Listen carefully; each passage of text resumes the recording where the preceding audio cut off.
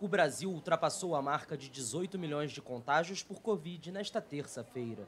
De acordo com o boletim coronavírus atualizado pelo Ministério da Saúde, 18 milhões 54.653 pessoas foram infectadas desde o início da pandemia.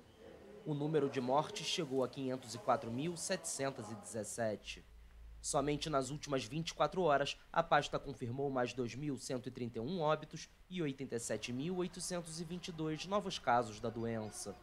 Os números costumam ser maiores às terças-feiras, porque durante os finais de semana as secretarias de saúde têm maior dificuldade em repassar dados.